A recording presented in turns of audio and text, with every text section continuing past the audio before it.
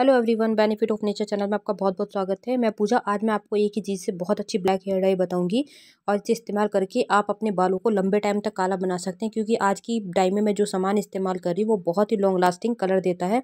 तो सबसे पहले आपको लेनी है चाय पत्ती। चाय पत्ती को आप अच्छे से भून लीजिएगा और इसे बिल्कुल ब्लैक करना है क्योंकि जितना ये ब्लैक होगी, हमारे बालों में उतना ही ब्लैक कलर आएगा।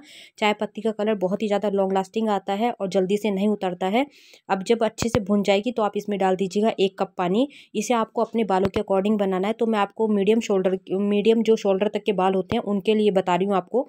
तो इसके लिए मैंने दो चम्मच चाय पत्ती ली है और उसे मैंने एक कप पानी डालकर अच्छे से पकाना है इसे।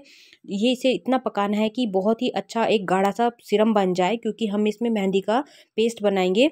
और ये बहुत ही अच्छा और अच्छे तरीके से पकना चाहिए, क्योंकि जितना अच्छा पका होगा, भुना होगा, उतना ही अच्छा इसका कलर आएगा। आप देख सकते हैं, ये बिल्कुल तैयार हो चुका है, चाय पत्ती नीचे बैठ चुकी है। इसकी पहचान ये है।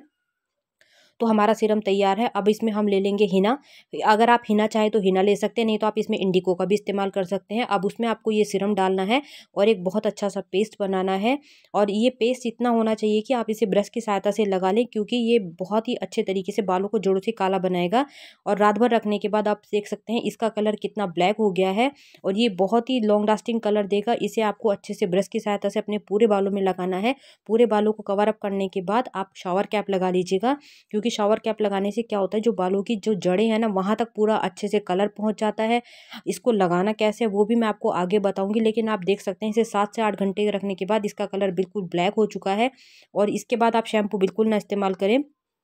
तब आप ब्रश की सहायता से आप देख सकते हैं जहाँ जहाँ आपको सफ़ेद बाल दिखाई दे रहे हैं, इस तरीके से ब्रश की सहायता से आप इसे पूरे बालों में लगा लीजिएगा। पूरे बालों को अच्छे से कवर करना है और उसके बाद नॉर्मल पानी से सिर को वॉश करें। कैसी लगी वीडियो वो ज़रूर बताइए। लाइक